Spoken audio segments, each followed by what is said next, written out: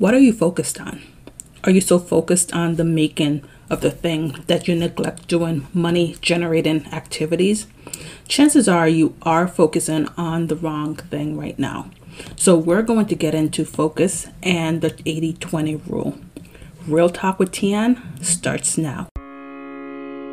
Hey there, welcome to another episode of the Real Talk with Tian podcast.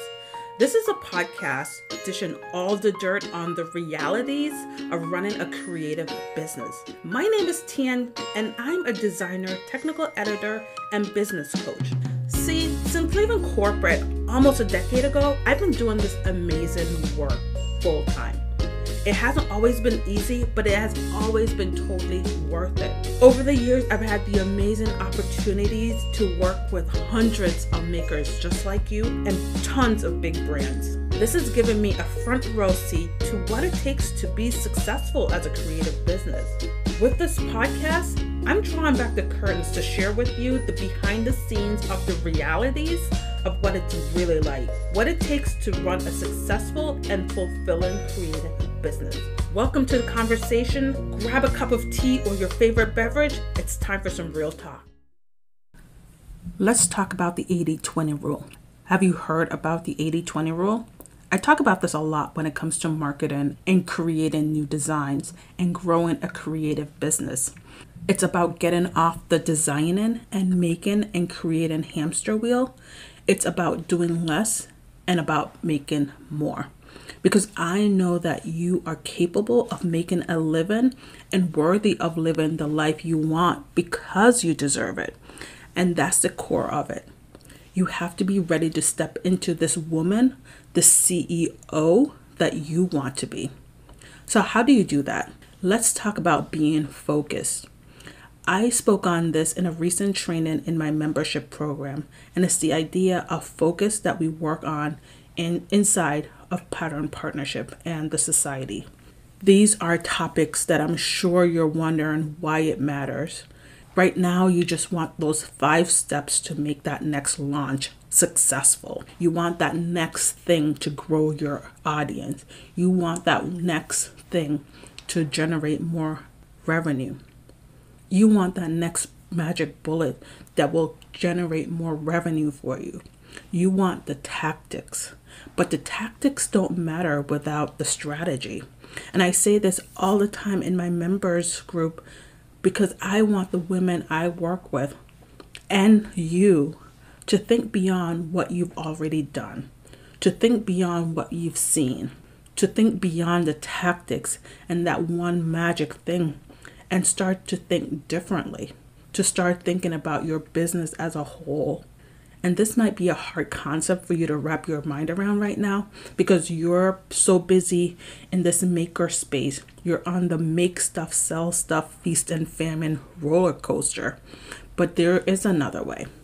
And that's what we do in pattern partnership. We do a lot of accountability. It's not just about training, it's about taking action and sharing your progress. So, for example, on Mondays, we ask what you're doing. And at the middle of the week, we check in to see your progress. And on Friday, we ask you again, what have you accomplished from that list? From that list you posted on Monday. And while we love to see our members achieve their goals and cross things off their list, that accountability thread is not just for box checking. You're not just there to just tick boxes of things that you do or you didn't do. Running a business is not about ticking boxes. So when we see a member post that they didn't finish a sample pattern that they had on their to do list, and the sample was a main focus, we have to ask, what did you do throughout the week to generate revenue? What did you do throughout the week to set you up to generate revenue. Yes, you're knitting and crocheting, but with the 80 20 rule, once you have a catalog of patterns, amazing works that are already out there under your belt, you can begin to shift the focus from constantly making to now you're marketing more. And that's a major mindset shift to go from thinking that you have to be making and creating all the time to the idea that you have enough great material out there that you can now be focusing on reaching your perfect person with your existing catalog. And once you have a catalog of amazing pieces, pattern, works, your marketing should be a big part of your business. Marketing should be 80% of what you're doing to start generating more revenue, to be bringing in more people into your your sphere, to be bringing in more eyeballs on your work. So as you have more offerings, as you have more work, as you have more patterns out there, you're ramping up the marketing to 80% while pulling back on the production to about 20%. And that might be scary for a lot of you who believe that you have to make things to sell things. But the reality is, if you have a catalog that is amazing, at this point, it's about marketing and growing your audience and generating more revenue.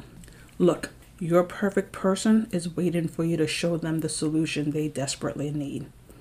They are looking for that transformation. And if you're not sure what I mean about your perfect person, I have a free challenge that you can go through that walk you through all of this. I'll share the link in the show notes. But you're a perfect person. They're looking for a transformation, and you already have a catalog of works out there that can be solving the problem that they have. So now at this point, it is your responsibility to put your thing in front of your perfect person to show them the solution. So you have to start showing up consistently. You have to start showing them that you have the thing that they need. And that takes time. Marketing takes time. And if you're not showing up and being visible, how will they see you? How will they find you? And we hear from our members that they don't want to bother their audience, they don't want to be annoying, and that's valid. But if you are not visible, how will you get found? We've heard the concept of if we build it, they will come.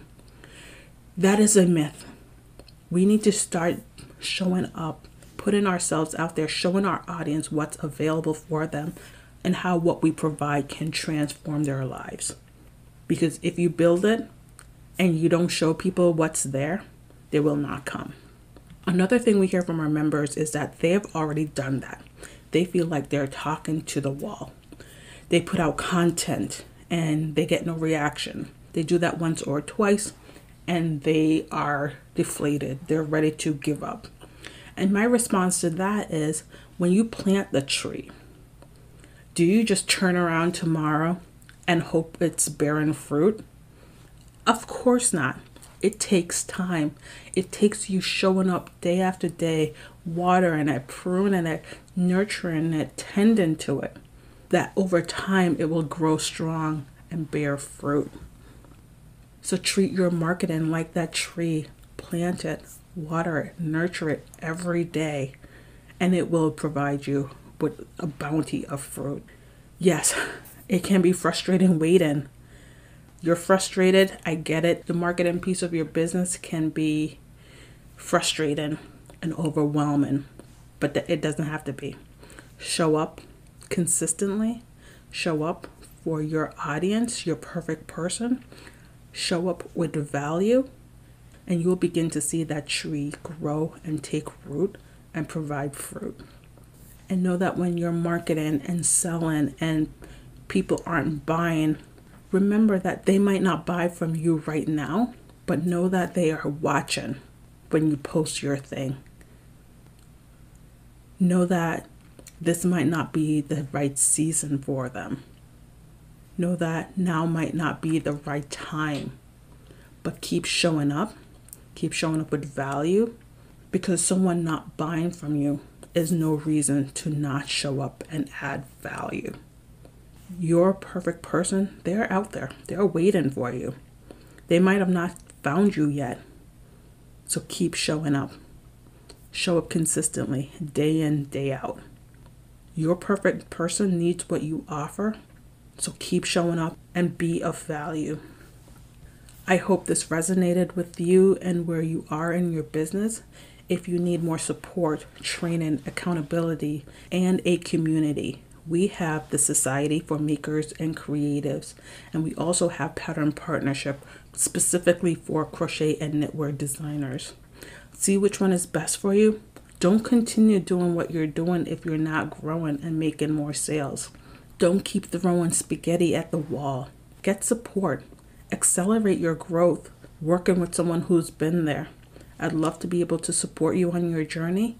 You can find links to everything we talk about in the show notes and on the website at tianconnaughton.com slash real talk with Tian. Bye for now. Thank you for listening to another episode of the podcast all the way to the end. Everything we mentioned will be listed in the show notes at tianconnaughton.com slash real talk with Tian. If you have questions on anything I've mentioned, or if you just want to book a coaching session, go to tianconnaughton.com slash contact dash us to get in touch. You got this.